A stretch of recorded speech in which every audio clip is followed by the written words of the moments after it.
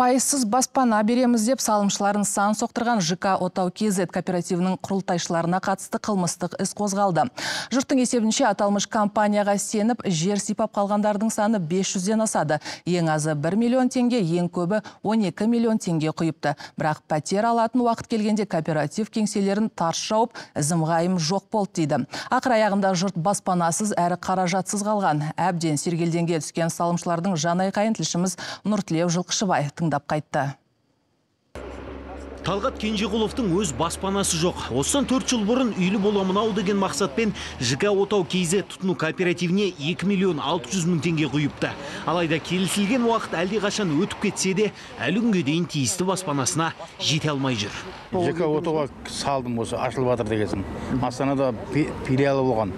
Соған апарып салдым, адамда салып жатқасын. Су жоқ, ақша жоқ, иә, үй жоқ. Бізге айтқан ойбай сыбайы қағылып жатыр деген. Өзі дайындала беріңдер.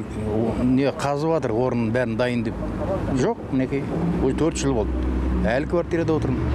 Айтуларынша алданған 500-ден астам салымшы компанияның жер жарған жарнамасына сеніп барып келісімшарт жасасыпты. Таңдаған баспанасының құнына байланысты алғашқы жарнасын беріп ай сайын 50-60 мың теңгеден тағы құйып келген. Келісімшартта 18 айдан кейін пәтер беріледі деп жазылған болатын. Сол уақытқа дейін тағы ай сайын ақша құйып отырдық. Бір жарым жыл өткеннен кейін ковид деп айтты. Тағы екі жыл күттім үй әлі жоқ. Енді арыз жаздым. Полицейлер аталмыш кооперативке қатысты қылмыстық іс қозғалған жеткізді. Екі күдікті құрықталыпты. Мамандандырылған тергеу сотының қаулысына сәйкес бір фигуранттың бұлтартпау шарасы үйғамаққа және екінші фигуранттың бұлтартпау шарасы кепіл түріндегі бұлтартпау шарасына өзгертілген. Тергеу әрекеттері жалғасуда. Осылайша салымшылардың қоныс тойын тойлау арманы салы суға кеткен сыңайлы. Жұрттың ендігі көздегендері кооператив басшылары қатаң жазаға тартылып, ақшаларын толықтай қайтарып алу. Соңғы кездері қаржы пирамидасы болсын, кооператив болсын жиілеп кеткен рас.